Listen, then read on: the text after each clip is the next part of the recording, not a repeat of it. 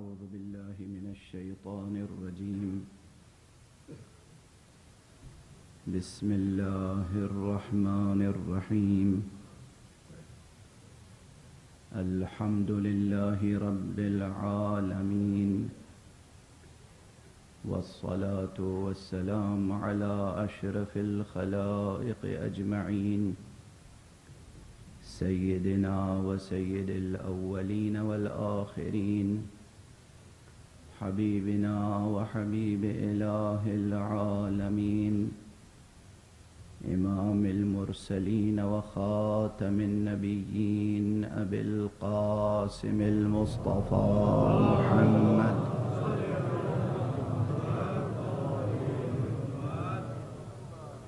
وعلى أهل بيته الطيبين الطاهرين الهداة المهديين المعصومين المظلومين واللعنة الدائمة على أعداء الدين أجمعين.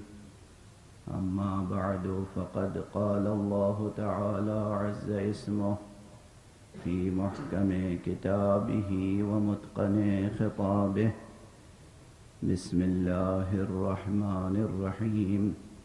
الله لا إله إلا هو الحي القيوم. لا تأخذه سنة ولا نوم. له ما في السماوات وما في الأرض. من ذا الذي يشفع عنده إلا بإذنه. صدق الله العلي العظيم.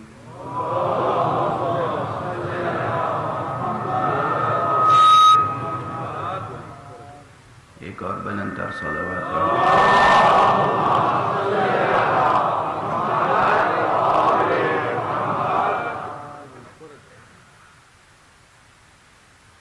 عزیزان گرامی قدر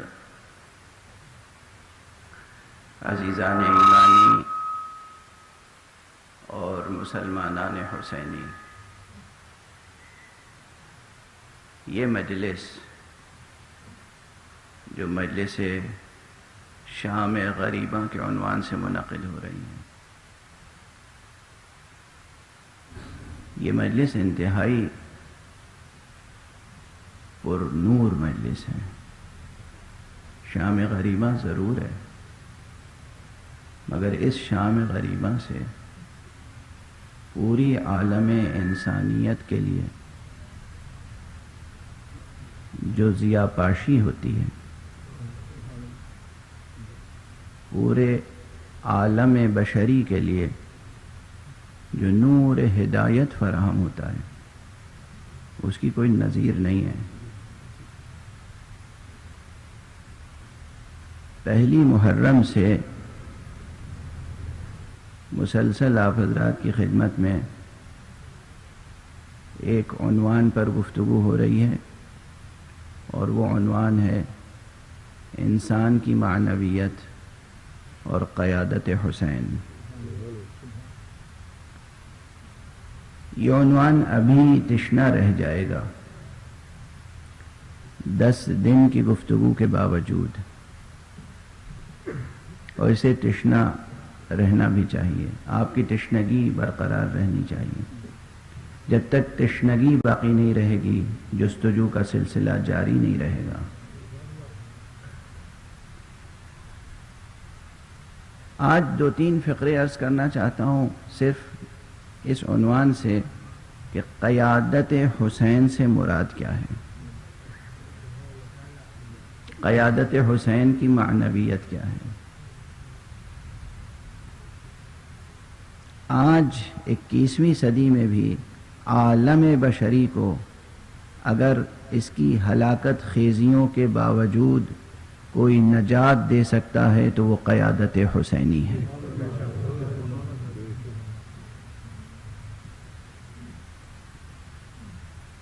سرکار سید الشہداء ابو عبداللہ الحسین۔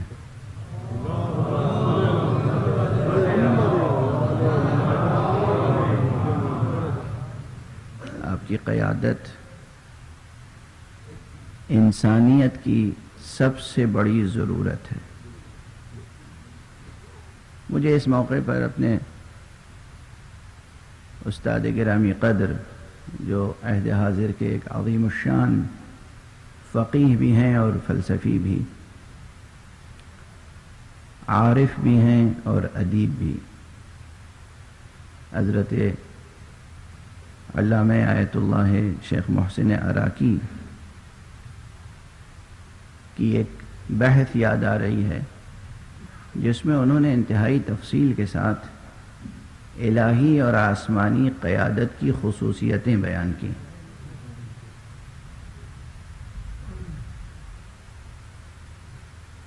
امام حسین علیہ السلاۃ والسلام کی قیادت الہی قیادت ہے۔ آسمانی قیادت کا تسلسل ہے۔ میں اس سے پہلے گزارش کر چکا ہوں کہ یہ دراصل قیادت مصطفی کا تسلسل ہے۔ امامت حسین نبوت محمد کا تسلسل ہے۔ اور خود ذات گرامی ہے امام حسین اس سے متعلق میں پہلے بھی یہ گزارش کر چکا ہوں۔ یہ مصرع اسی فقیر کا ہے کہ دلیل ختم نبوت ہے ذات پاک حسین۔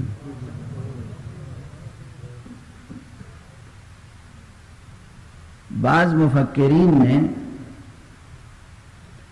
ختم نبوت کی تفسیر کرتے ہوئے اس نقطے کی طرف اشارہ کیا ہے کہ ختم نبوت کے معنی یہ ہیں کہ اب حضور جناب ختمی مرتبہ صلی اللہ علیہ وآلہ وسلم۔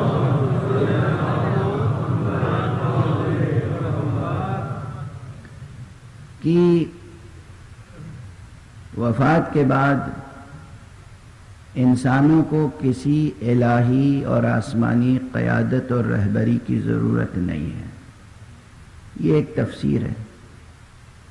میں نہیں سمجھتا کہ ختم نبوت کے یہ معنی ہے ختم نبوت کے یہ معنی نہیں ہے کہ اب انسان کو آسمانی یا الہی رہبری کی ضرورت نہیں ہے۔ ختم نبوت کے معنی اگر کچھ ہیں تو بس یہ کہ اب قیام قیامت تک انسانوں کی آسمانی اور الہی رہبری منحصر ہے ذات محمد مصطفیٰ صلی اللہ علیہ وسلم۔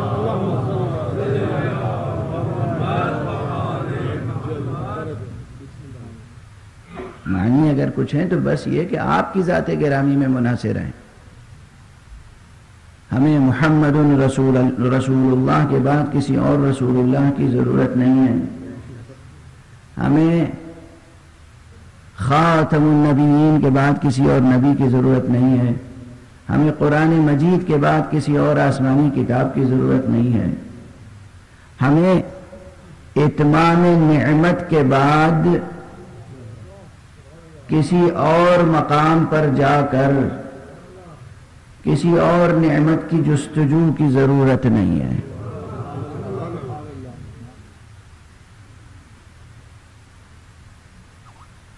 مقام ختم نبوت کہ ہر گز یہ معنی میری سمجھ میں نہیں آتے کہ اب آپ کے بعد انسانوں کو کسی آسمانی رہبری کی ضرورت نہیں۔ اگر اذانوں میں آج بھی اشہد ان محمد الرسول اللہ کی صدا بلند ہے۔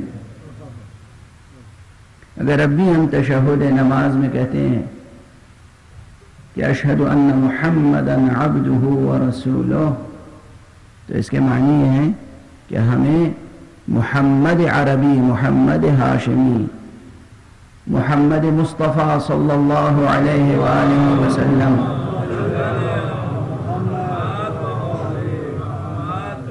کی قیادت اور رہبری کی ضرورت ہے۔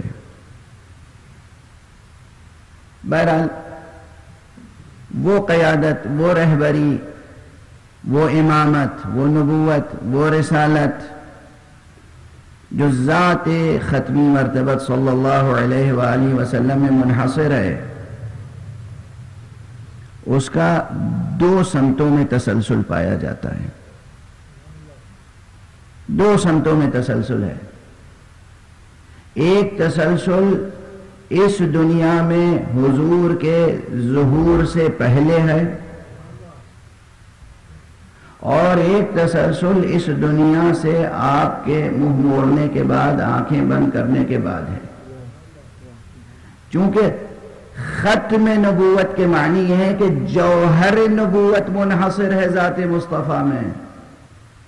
تو پیغمبر سے پہلے جو سلسلہ نبوت کا آدم سے لے کر عیسیٰ علیہ السلام تک ہے، وہ بھی دراصل تسلسل نبوت مصطفیٰ ہے۔ اور بعد پیغمبر، اگر کسی امامت اور ولایت کا تسلسل قیام قیامت تک ہے، تو وہ بھی تسلسل نبوت مصطفیٰ ہے۔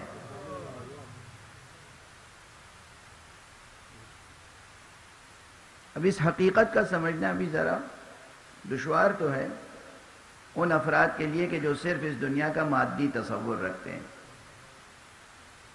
اس دنیا، اس عالم، اس کائنات سے متعلق، عالم ہستی سے متعلق، کائنات ہستی سے متعلق جو افراد عرفانی زاویہ نہیں رکھتے، جن کے پاس وہ بصیرت نہیں ہے، جو اس عالم کی صرف مادی توجہ کرتے ہیں، ان کے لیے یہ سمجھنا مشکل ہے کہ آخر چھ سو ستر عیسوی کے بعد جس کی ولادت ہوئی، اسی کا فیضان فیضان نبوت، یہ متصور کیسے سمجھا کیسے جا سکتا ہے کہ اس کے پہلے بھی جو سلسلہ ہدایت اور رہبری کا ہے، وہ دراصل اسی کا تسلسل ہے۔ مشکل ہے سمجھنا، دشوار ہے یہ تصور کرنا۔ اور جو یہ سمجھتے ہیں کہ اس موت کے بعد، ظاہری موت کے بعد یا قتل ہو جانے کے بعد، شہید ہو جانے کے بعد انسان کا وجود ختم ہو جاتا ہے، انسان مر جاتا ہے، مردہ ہو جاتا ہے۔ ان کے لیے یہ تصور بھی مشکل ہے کہ بعد میں جو ہدایت کا سلسلہ ہے، وہ بھی اسی مرکز ہدایت کا تسلسل ہے۔ اگر دشوار ہے یہ سمجھنا آپ کے لیے یا کسی کے لیے، تو اس دشواری کو دور کریں۔ کسی چیز کا سمجھ میں نہ آنا، یہ اس بات کے لیے جواز نہیں بنتا کہ آپ اس کا انکار کر دیں۔ سب سے پہلے متفق ہوں قیادت مصطفیٰ صلی اللہ علیہ وآلہ وسلم۔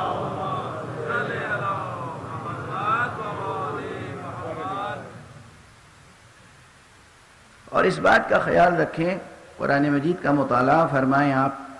تو آپ کو اندازہ ہوگا کہ قرآن مجید نے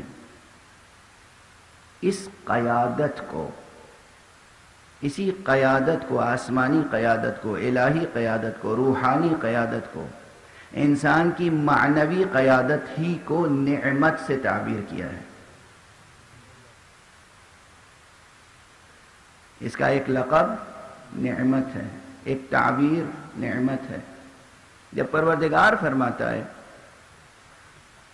اليوم اکملت لکم دینکم وَأَتْمَمْتُ عَلَيْكُمْ نِعْمَتِي وَرَضِيتُ لَكُمُ الْإِسْلَامَ دِينًا آج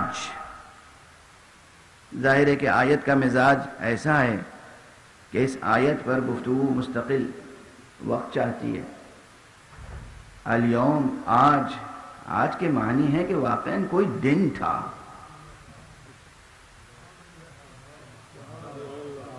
واقعا کوئی دن تھا جس دن کو فراموش نہیں کیا جا سکتا۔ جب تک قرآن مجید میں یہ آیت موجود ہے، اس دن کی جستجو کرنی پڑے گی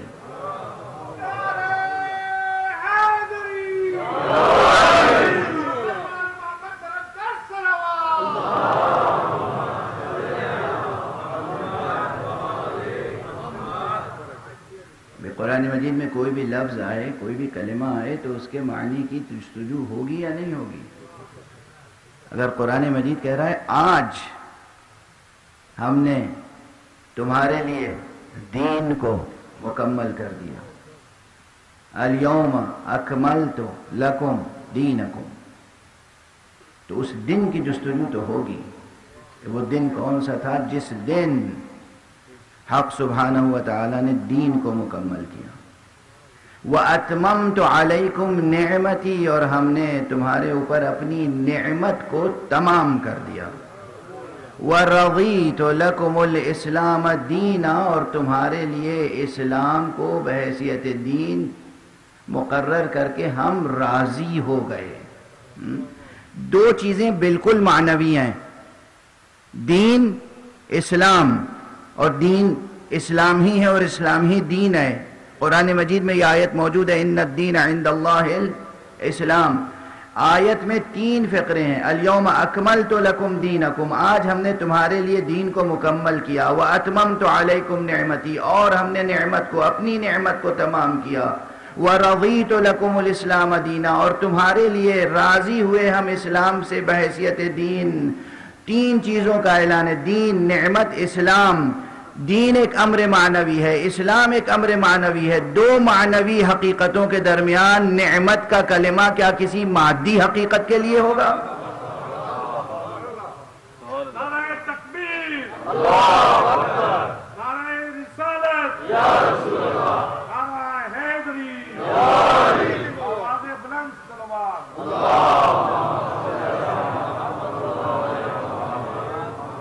اس کے معنی ہے کہ یہاں لفظ نعمت، یہ بھی ایک امر معنوی کے لیے ہم نے اپنی نعمت تم پر تمام کر دی یعنی الہی رہبری، آسمانی قیادت ہم نے نقطۂ عروج تک پہنچا دی۔ اب ہماری طرف سے قیادت اور رہبری میں کمی نہیں ہے۔ اب اگر کوئی کمی ہوئی تو سمجھ لینا تمہاری طرف سے اطاعت میں کمی ہوگی۔ تمہاری ناکامی رہبری کی ناکامی یا کمی کے بنا پہ نہ ہوگی۔ اب اگر کوئی ناکامی ہوئی تو وہ تمہاری طرف سے اطاعت کی کمی کے بنا پہ ہوگی۔ پیروی میں نقص ہوگا، اطاعت میں نقص ہوگا، لیکن ہم نے قیادت کو مکمل کر دیا۔ آپ تصور فرمائیے کہ آسمانی قیادت و الہی کلن واقعا انسان کے لیے ایک اچھی رہبری اس سے بڑی نعمت کوئی شے نہیں ہو سکتی۔ توجہ فرما رہے ہیں آپ؟ انسان کے لیے صحیح گائیڈنس صحیح رہبری، صحیح قیادت، اس سے بڑھ کر کوئی نعمت متصور نہیں ہے۔ آپ نعمت کسے سمجھتے ہیں؟ دنیاوی، مادی نعمتوں کو۔ کھانے پینے کی چیزوں کو نعمت سمجھتے ہیں۔ بھیڑوں اور گایوں کے گوشت کو آپ نعمت سمجھتے ہیں۔ توجہ فرما رہے ہیں انسان بحیثیت انسان خود آپ کا وجود ایک روحانی وجود ہے اور آپ کے لیے پروردگار فرما رہا ہے کہ ہم نے اپنی نعمت مکمل کر دی، تمام کر دی۔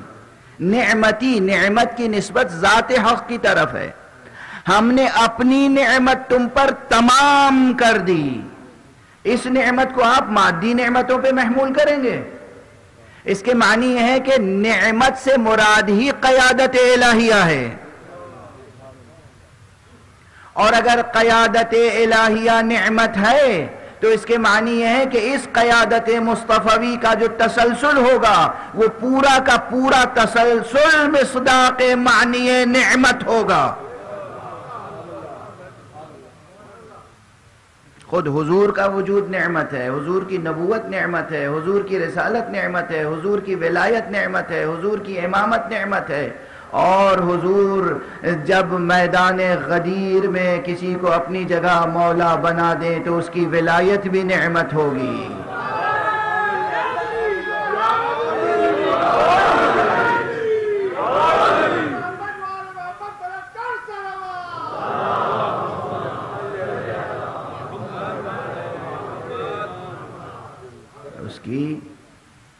ولایت بھی نعمت ہوگی، اس کی ہدایت بھی نعمت ہوگی۔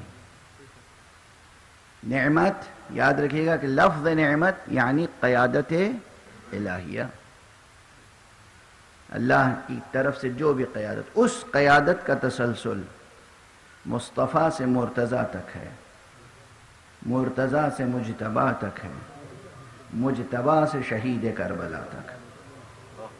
یہ تسلسل قیادت مصطفیٰ بھی ہے۔ دنیا غور کرے، دنیا سوچے، تحقیق کرے۔ بغیر درایت کو، بغیر درایت کسی روایت کو تسلیم نہ کریں۔ درایت سے کام لیں، عقل سے کام لیں، تحقیق و جستجو سے کام لیں۔ اندھی تقلید روا نہیں ہے، مگر ہم ہمیشہ دعوت تحقیق دیتے ہیں۔ سوچیں، غور کریں۔ اصلا نعمت، کہاں کہاں اس نعمت کا ذکر آتا ہے؟ روز آنا آپ نماز پڑھتے ہیں۔ اور ایک سورہ ایسا ہے قرآن مجید کا، جس کی اہمیت اتنی زیادہ ہے کہ نماز ہو ہی نہیں سکتی جب تک کہ وہ سورہ نہ پڑھیں۔ لا صلاة الا بفاتحة الكتاب۔ ممکن نہیں ہے کہ نماز ہو جائے جب تک کہ آپ اس میں سورہ حمد کی تلاوت نہ کریں۔ اچھا سورہ حمد کی تلاوت جیسے ہی شروع کریں گے، آپ تو حمد الہی ہے، نام الہی ہے، اس کے بعد حمد الہی ہے، اور اس کے بعد کیا دعا ہے؟ جوہر سورہ حمد کیا ہے؟ جوہر نماز کیا ہے؟ سورہ حمد۔ جوہر سورہ حمد کیا ہے؟ دعا۔ کس چیز کی دعا؟ کس چیز کی دعا؟ بہت کوئی معمہ تو نہیں ہے، کوئی بہت دقیق سوال نہیں ہے۔ دنیاوی نعمتوں کی طلب ہے وہاں پر۔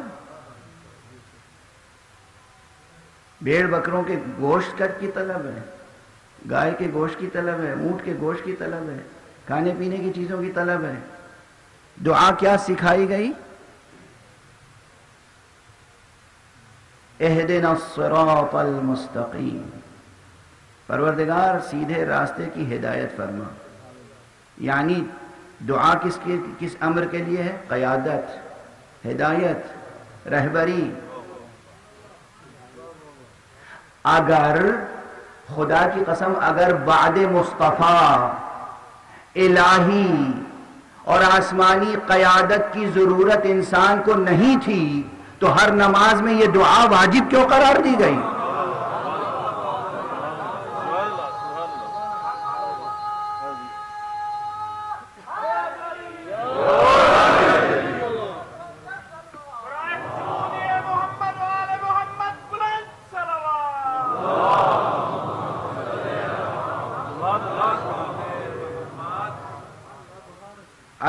بعد وصال پیغمبر حضرت ختمی مرتبہ صلی اللہ علیہ وآلہ وسلم کے وصال کے بعد اگر انسانوں کو آسمانی اور الہی رہبری کی ضرورت نہیں ہے، تو ہر نماز میں اور نماز کی ہر رکعت میں لازم کیوں ہے کہ یہی سورہ پڑھا جائے؟ اور سورہ میں خاص چیز کیا ہے؟ اہدنا الصراط المستقیم۔ اے پروردگار، ہمیں سیدھے راستے کی ہدایت فرما، قیادت فرما، ہمارے لیے قیادت فراہم کر۔ کیسی قیادت؟ کیسی رہبری؟ کیسی ہدایت؟ اب لفظوں میں ہدایت نہیں چاہیے۔ پروردگار، لفظوں میں ہدایت نہیں چاہیے۔ لکھے ہوئے اصول نہیں چاہیے۔ بیان کیے ہوئے قاعدے قانون نہیں چاہیے۔ صراط الذین انعمت علیہم، ہمیں ان لوگوں کی ہدایت چاہیے جن پر تیری نعمت ہو۔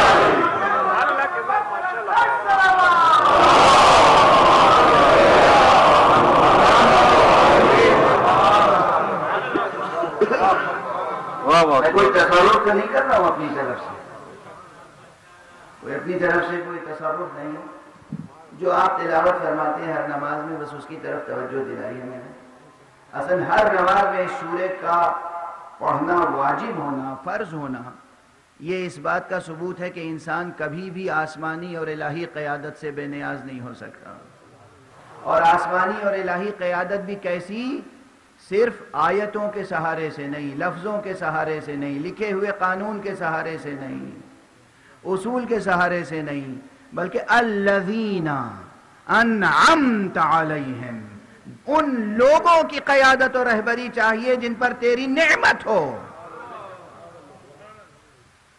اور پھر اسی قرآن مجید میں جب نشاندہی کر دی جائے الیوم اکمل تو لکم دینکم و اتمم تو علیکم نعمتی، کہہ کر معلوم ہوا جس نعمت کی طلب ہے، اس کی وہ نعمت تو پہلے ہی تمام کی جا چکی ہے۔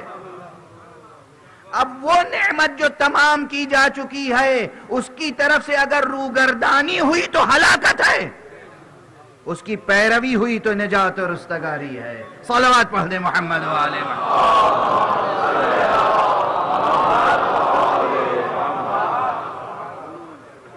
واضح ہے نا کوئی بہت مشکل اور دقیق بحث تو نہیں ہے۔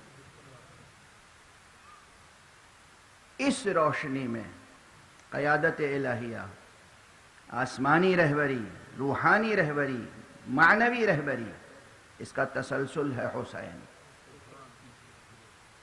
قیادت حسین۔ اس قیادت حسین سے ہی اب انسان اپنی معنویت کو ڈسکور کر سکتا آپ کی حقیقت کیا ہے، ہماری حقیقت کیا ہے، ہماری حیثیت کیا ہے؟ قیامت تک آنے والے انسان سرکار سید الشہداء کی قیادت، آپ کی قربانی، آپ کی شہادت، آپ کے خطبات، آپ کے افعال، آپ کی سیرت، یہ سب انسان کو روشنی فراہم کرتی رہے مدینے سے لے کر مکے تک اور مکے سے کربلا تک کا امام کا سفر، ایسا نہیں ہے کہ اسے فراموش کر دے انسان۔ اور کربلا کی قربانی؟ ایسی نہیں ہے کہ اسے فراموش کر دے انسان۔ بہت کچھ عرض کرنا چاہتا تھا، لیکن آج طبیعت ساتھ نہیں دے رہی ہے اور شام بھی سوگوار شام ہے۔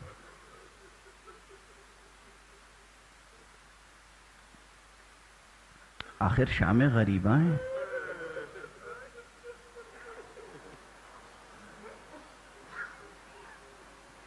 کس قدر علمناکی ہے اس فقرے میں شام غریباں۔ یہ کن غریبوں کی شام ہے؟ یہ کن یتیموں کی شام ہے؟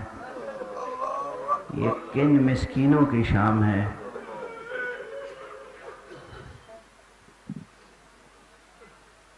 اللہ اکبر۔ بس، اب چند فقرے عرض کروں گا اور گفتگو کا دامن سمیٹ دوں گا۔ مگر اللہ کی طرف سے آنے والے جو قائد ہوتے ہیں، جو رہبر ہوتے ہیں، جنہیں اللہ رہبر بناتا ہے، جنہیں اللہ امامت سونپتا ہے وہ معمولی افراد بشر نہیں ہوتے پھر عرض کروں، قرآن مجیدی کی طرف توجہ کر لیجیے لفظ امامت کو قرآن مجید نے کس عظمت کے ساتھ اور منصب امامت کو، عہدہ امامت کو کس عظمت کے ساتھ پیش کیا ہے؟ اور اس کے ساتھ منصب شفاعت کو کس عظمت کے ساتھ پیش کیا ہے۔ بات بالکل تشنا نہ رہ جائے، اس لیے بس اشارے کر کے آگے بڑھوں۔ امامت کی بحث مکمل نہیں ہو سکتی، قرآنی نقطہ نظر سے اور قیادت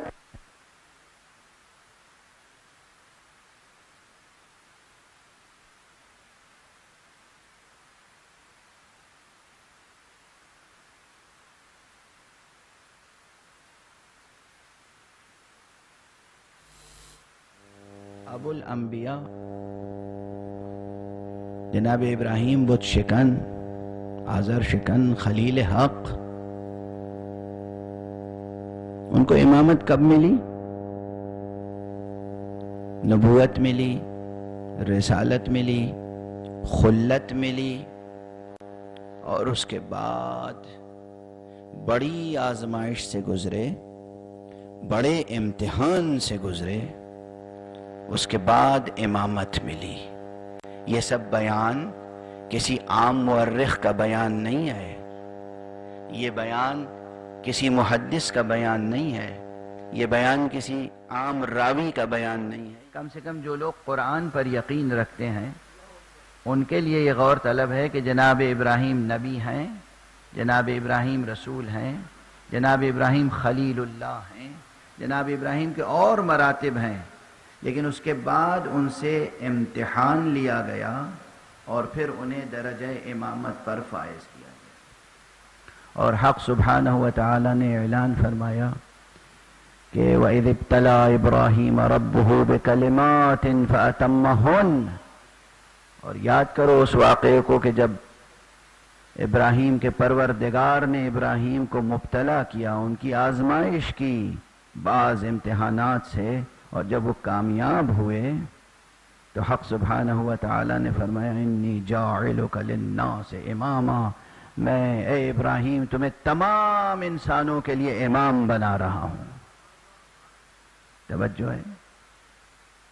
تمہیں تمام انسانوں کے لیے امام بنا رہا ہوں اور جیسے ہی حق سبحانہ و تعالی نے فرمایا، میں تمہیں تمام انسانوں کے لیے امام بنا رہا ہوں، ویسے ہی جناب ابراہیم نے کہا، پروردگار اور میری ضروریت سے،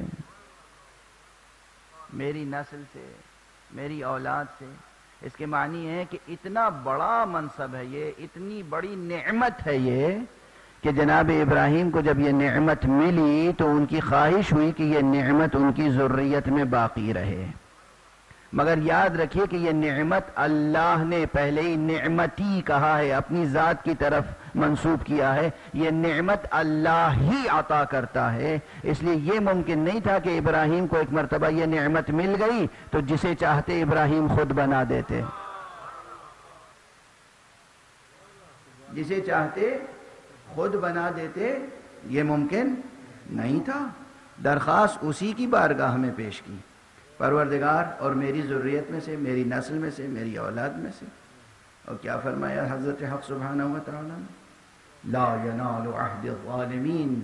ابراہیم، میرا یہ عہدہ، میرا یہ منصب گناہ گاروں کو نہیں ملے گا، ظالموں تک نہیں پہنچے گا۔ اس کا روشن مفہوم یہ ہے کہ تمہاری نسل سے جو معصوم ہوں گے، وہ ضرور امام ہوں گے۔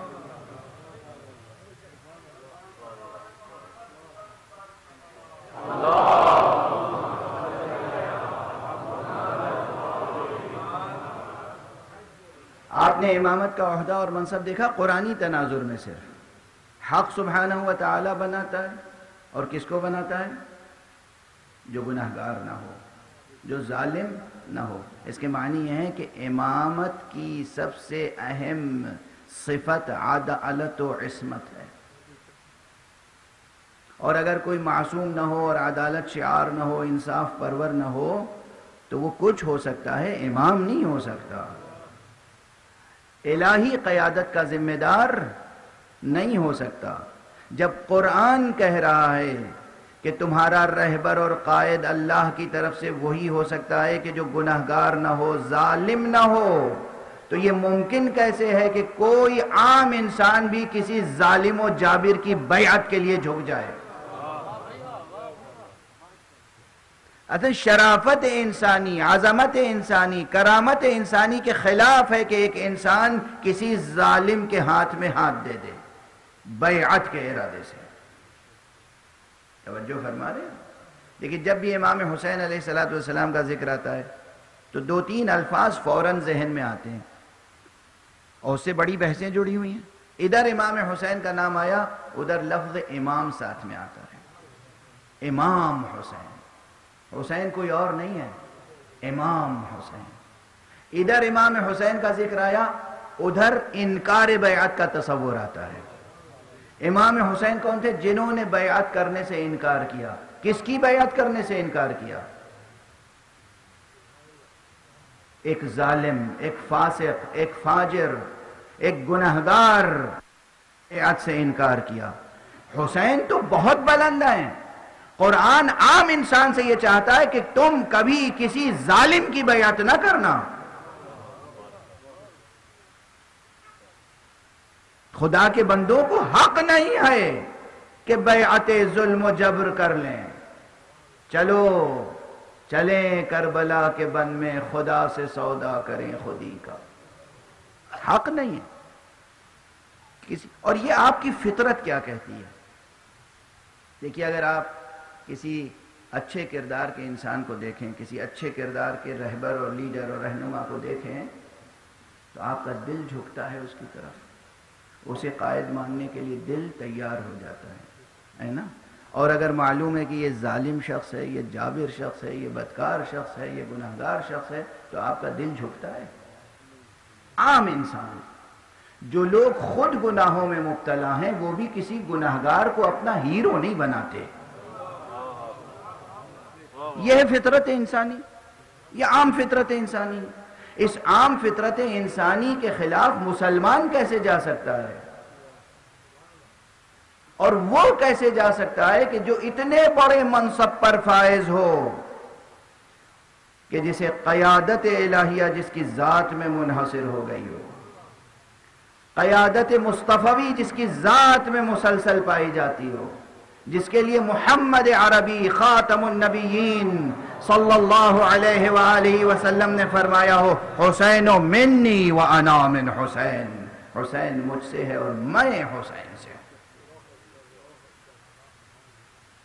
جس کے لیے آقا یہ فرمائے، وہ کسی ظالم کی بیعت کر سکتا ہے۔ اسی لیے میں نے اس سے پہلے عرض کیا تھا کہ ظالم تو ظالم، اگر یزید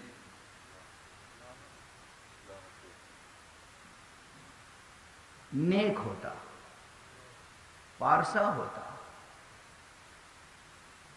بلند اخلاق کا حامل ہوتا۔ تب بھی کیا حسین بیعت کر لیتے؟ اصل مسلمان کو قرآن و حدیث و تاریخ کی روشنی میں حسین کی شخصیت کو سمجھنے کی کوشش کرنا چاہیے۔ حسین کون ہیں؟ جب سمجھ میں آ جائے گا حسین کون ہیں، تو پھر یہ سوال قیام قیامت تک کے لیے ختم ہو جائے گا کہ حسین نے بیعت کیوں نہیں کی۔ اور غالباً چھ یا سات محرم کو جو میں جملہ کہہ چکا ہوں، بس اسے دہرا کے آگے بڑھ جاؤں۔ حسین محمد کے نواسے ہیں اور علی کے بیٹے ہیں۔ آپ حسین کے لیے یہ کہہ سکتے ہیں، بیعت کیوں نہیں کی؟ آپ اس سے پہلے پوچھئے کہ علی ابن ابی طالب نے ایک نہیں، ایک سے زائد مقامات پر باطل شرائط کے ساتھ بیعت نہیں لی۔ حسین، اس کا بیٹا ہے جس نے بیعت لی نہیں۔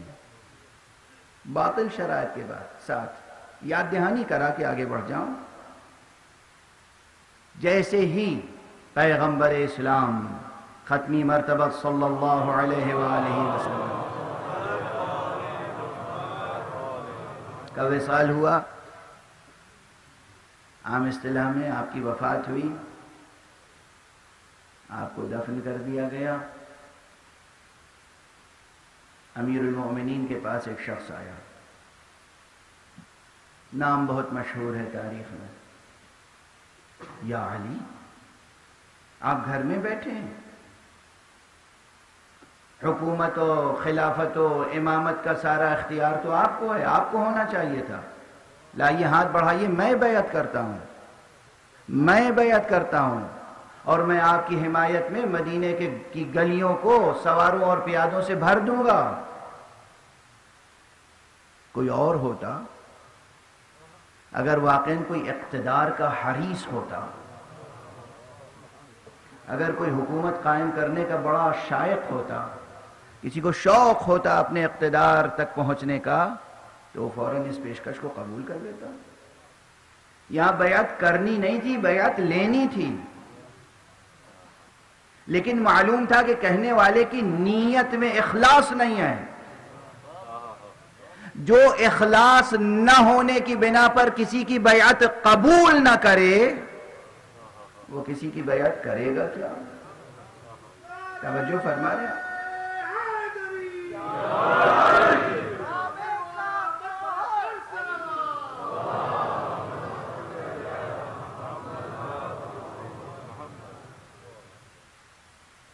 یہ مسائل ایسے ہیں جو بہت روشن ہیں بہت سے افراد کے لیے، لیکن اب بھی ہر سال ہمیشہ بہت سے افراد ان مسائل پر سوالات لے کر آ جاتے ہیں۔ اس لیے بار بار دہرانا پڑتا ہے۔ امام حسین بیعت حق، باطل، فتح، شکست، یہ سب تصورات اور مفاہیم بہت روشن ہونے چاہیے۔ امام حسین کا تصور اگر زندہ رہے آپ کے پاس، تو بیعت کی حقیقت واضح رہے گی، کامیابیوں کی راہ روشن رہے گی، حق اور باطل کے تصورات روشن رہیں گے، فتح و شکست کا معیار روشن رہے گا۔ بس۔ اس سے زیادہ گفتگو کی سکت نہیں ہے آج مجھ میں۔ میں سمجھتا ہوں کہ گزشتہ دس دن کی تقریروں میں بعض ایسے عناوین قائم ہو گئے ہیں جو آپ کے ذہنوں میں مسلسل جاری اور ساری رہیں گے۔ لیکن بنیادی بات، سب سے بنیادی بات یہ ہے کہ انسان، بحیثیت انسان، اسے حق نہیں ہے کہ باطل کی بیعت کر لے اور حق سے رو گرداں ہو جائے۔ اور یہ انسان کا وظیفہ، یہ انسان کا فریضہ، یہ انسان کا منصب اگر کوئی اچھی طرح سے فکری اور عملی ہر جہت سے سمجھاتا ہے تو وہ حسین ہے۔ اور اس لیے اس کی قیادت ہمیشہ زندہ قیادت رہے گی۔ کبھی یہ قیادت فرسودہ ہونے والی نہیں ہے۔ اور اسی قیادت کے ساتھ، اسی منصب ہدایت کے ساتھ حق شفاعت بھی ذات حسین میں منحصر ہو چکا ہے۔ اجازت دیجیے کہ میں ایک آیت کی طرف اور اشارہ کر کے آگے بڑھوں۔ سورہ مبارک مریم کی آیت ہے، جس میں کہا گیا ہے، پروردگار نے ارشاد فرمایا ہے کہ لا یملکون الشفاعت الا من اتخذ عند الرحمن عہدا۔ عجیب و غریب آیت ہے۔ کم سے کم دس روز چاہیے اس آیت پہ گفتگو کرنے کے لیے۔ لا یملکون الشفاعت کسی کو حق شفاعت نہیں ہے۔ اللہ مگر اسے۔ میں جو آیت مسلسل پڑھ رہا ہوں، اس میں ایک لفظ من ہے، دو کلمہ۔ میم، نون سے مل کر ایک کلمہ ہے، من، دو حرفوں سے۔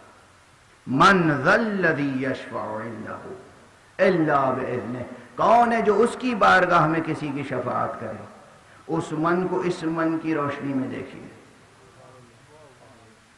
لا يملكون الشفاعة إلا من اتخذ عند الرحمن عہدا کسی کو شفاعت کا حق نہیں ہے، مگر اسے جو حق سبحانہ و تعالی کے پاس شفاعت کا عہد لے چکا ہو۔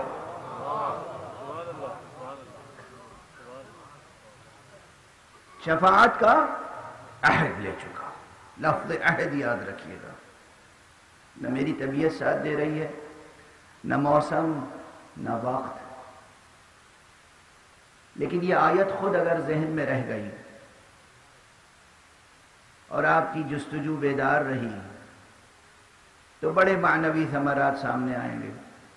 لا يملكون الشفاعت الا من اتخذ عند الرحمن احدا کسی کو شفاعت کا حق نہیں ہے۔ امکان نہیں ہے کہ کوئی شفاعت کرے، مگر وہ جو رحمان کے حضور میں، حق سبحانہ و تعالیٰ کے حضور میں عہد شفاعت لے چکا ہو۔ لفظ عہد یاد رکھیے گا۔ اس عہد کی تشریح کب ہوئی؟ کہاں ہوئی؟ کب کس نے عہد لیا؟ کس نے عہد لیا؟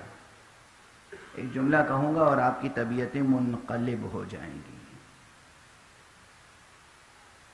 کربلا میں عاشور کا دن جب امام کے گلے پہ خنجر چل رہا تھا۔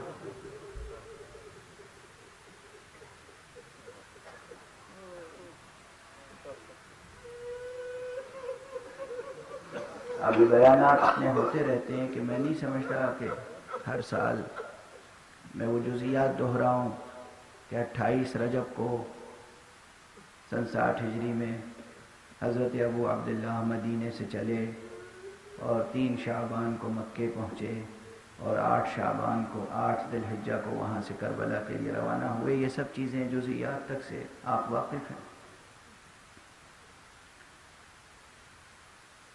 پوری دنیا واقف ہے۔ عاشور تھا۔ دس محرم تھی۔ جمعے کا دن تھا۔ عصر کا ہنگام تھا۔ صبح سے عصر تک حسین بہتر لاشیں اٹھا چکے تھے۔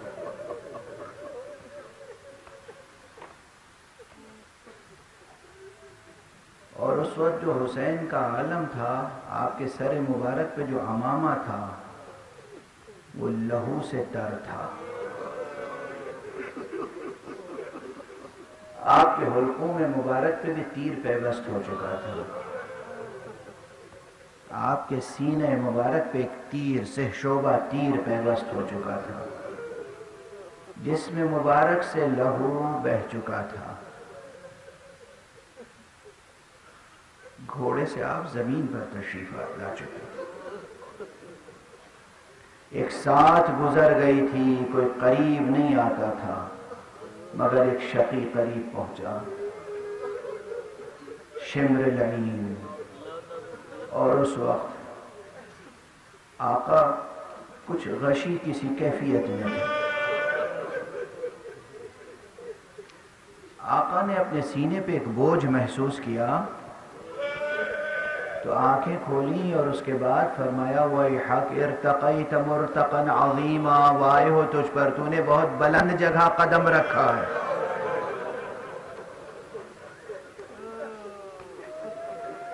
پالما قبلہ رسول اللہ۔ ارے، سینے کو رسول اللہ بوسا دیا کرتے تھے۔ اجرکم علی اللہ، اجرکم علی اللہ، اجرکم علی اللہ۔ اس سینے کو رسول اللہ بوسا دیا کرتے تھے۔ تو نے بہت بلند جگہ قدم رکھا ہے۔ پھر آپ کو قلودگی اور غشی کسی کیفیت آئی؟ پاری ہوئی اور گلو مبارک پہ خنجر چلنے لگا۔ قاتل نے خنجر چلاتے چلاتے روکا اور جھک کے ہلتے ہوئے لبوں کے سے نکلنے والی آواز کو سننے کی کوشش کی۔ اس وقت حسین کیا کہہ رہے ہیں؟ حسین کے لبوں پہ کیا ہے؟ تو اس نے آیت سنی کہ قرآن مجید کی آیت پڑھ رہے ہیں، پروردگار۔ پروردگار، تیری ہی یہ آیت ہے نا؟ اوفو بے عہدی اوف بے عہد تم لوگ اپنے عہد کو پورا کرو، میں اپنے عہد کو پورا کروں۔ یہ حسین صاحب عہد شفاعت. اور جب حسین کا گلا کٹا اور نو کے نیزہ پہ بلند ہوا تو بس کربلا میں رات آ گئی، شام غریب آ گئی۔ امام حسین کا ایک بیٹا علی ابن الحسین سید سجاد غشی کے عالم میں تھا، بیمار تھا۔ جب زمین کربلا کو زلزلے کے جھٹکے لگے، ایک مرتبہ بیدار ہوئے۔ پھوپھی اماں جناب زینب کبرا سے کہا، پھوپھی اماں، ذرا خیمے کا پردہ تو ہٹائیں۔ پھوپھی نے خیمے کا پردہ ہٹایا، دیکھا نو کے نیزہ پہ بابا کا سر بلند ہے۔ کہا سلام علیکہ یا ابا عبداللہ۔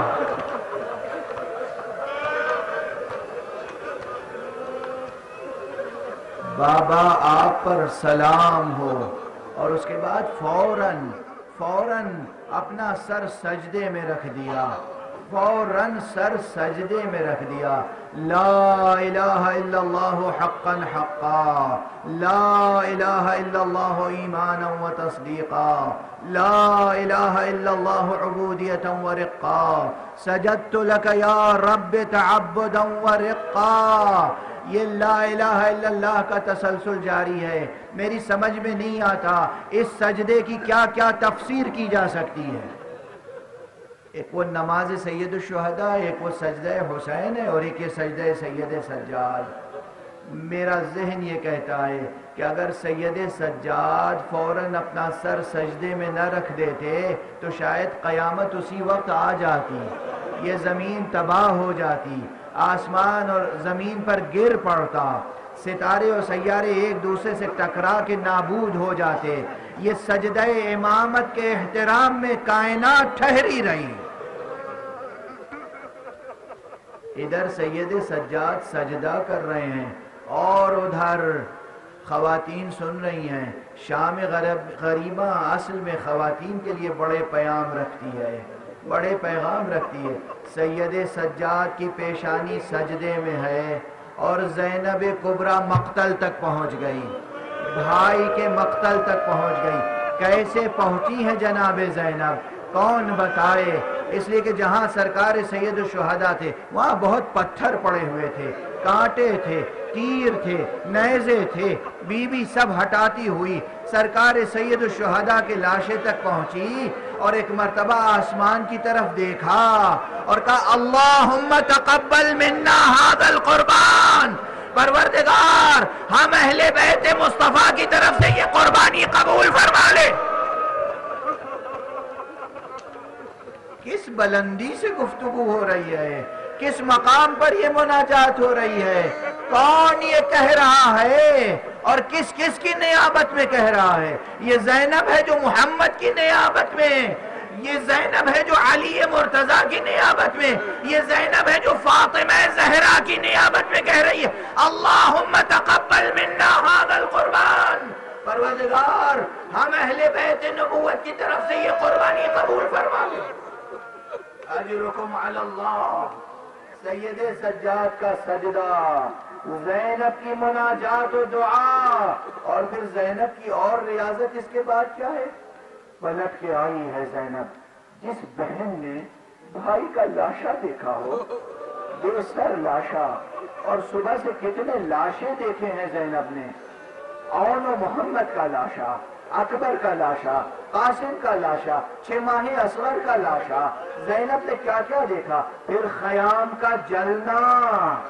سروں سے رداؤں کا چھینا جانا، گوشواروں کا چھینا جانا، اور اس کے بعد اب بھی زینب میں یہ طاقت ہے کہ زینب آئی ہے اور ایک ایک بچے کو تلاش کر رہی ہے۔ کاروان حسینی کے چھوٹے چھوٹے بچے جو بلک رہے تھے اور ان بچوں کی زبان پر جب تک عباس زندہ رہے، اللہ تش اللہ تش کی صدا رہی۔ لیکن عباس کی شہادت کے بعد کسی بچے کی زبان پہ اللہ تش کی آواز نہیں آئی۔ زینب نے ان بچوں کو جمع کیا اور بچوں کی جستجو میں ایک ایک گوشے میں گئی بی بی اور اہل ارباب مقاتل بتاتے کہ بہت سے لاشیں وہ تھے جو صبح عاشور سے عصر عاشور تک حسین نے اٹھائے، لیکن بعض لاشیں وہ تھے جو زینب نے اٹھائے۔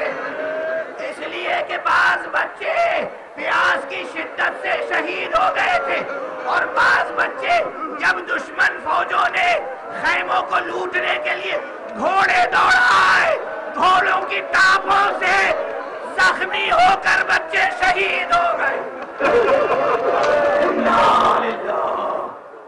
وإنا إليه راجعون. رضا بقضائه وتسليمه